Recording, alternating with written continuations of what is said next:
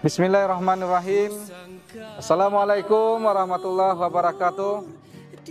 Dai Lingga Kota Budaya, tempat Sultan membangun tata. 21 tahun Kepri berusia, ekonomi maju untuk Kepri berbudaya. Saya Muhammad Nizar, Bupati Kabupaten Ninggang, mengucapkan selamat hari jadi ke-21 Provinsi Kepulauan Riau.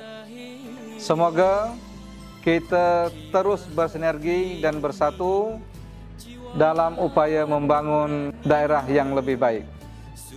Kalau limau batang berduri, masa di pokok buah pepaya.